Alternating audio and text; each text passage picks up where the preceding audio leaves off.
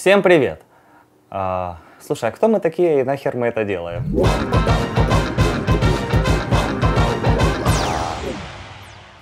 Две недели назад я обновил свой Asus Zenfone 6 14 года модели до Android 5. Вот эти две недели я им попользовался и сейчас хочу поделиться впечатлениями.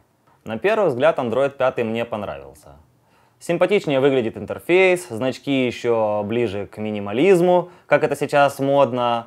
Больше всего мне понравилось в Android 5 это шторка уведомлений. Она в четвертом Android у Asus почему-то не очень удобная. Сейчас они сделали это так, как надо, в идеале. Но есть и ряд минусов, которые, проспорю, для меня перевесили плюсы.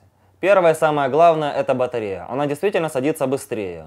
Причем быстрее где-то на треть, очень неприятно. Телефон постоянно горячий, это второе. Третье, столкнулся с такой проблемой приложением YouTube.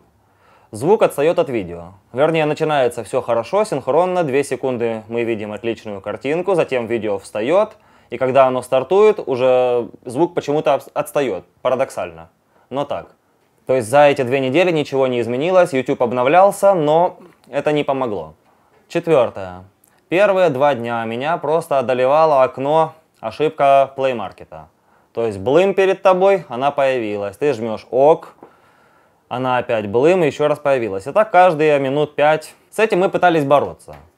Удалили Play Market, установили заново, на тот момент не помогло. Потом все прошло само собой через два дня. Плюс к этому заметил еще одну интересность. При разблокировке телефона, э, если на четвертом можно было разблокировать что вертикальным свайпом, что горизонтальным, то в пятом андроиде почему-то сделали только вертикальный. Горизонтальный не разблокировал телефон. К этому еще нужно немножко было привыкать. Итак, подведем итог.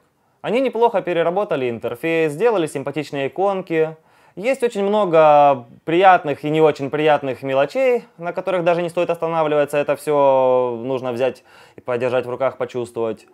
Но минусы для меня перевесили плюсы, и я ушел в даунгрейд. То есть обратно откатился до Android 4.4. Все-таки на именно этом телефоне он работает лучше, лучше оптимизирован. Не знаю, остается надеяться, что вот тот обещаемый Android M, он же Android 5.2, будет лучше и они, может быть, все-таки выпустят прошивку для этого телефона. Тогда попробуем еще раз. Итак, если наше видео вам оказалось полезным, то подписывайтесь на наши каналы, ставьте пальцы вверх. До новых встреч!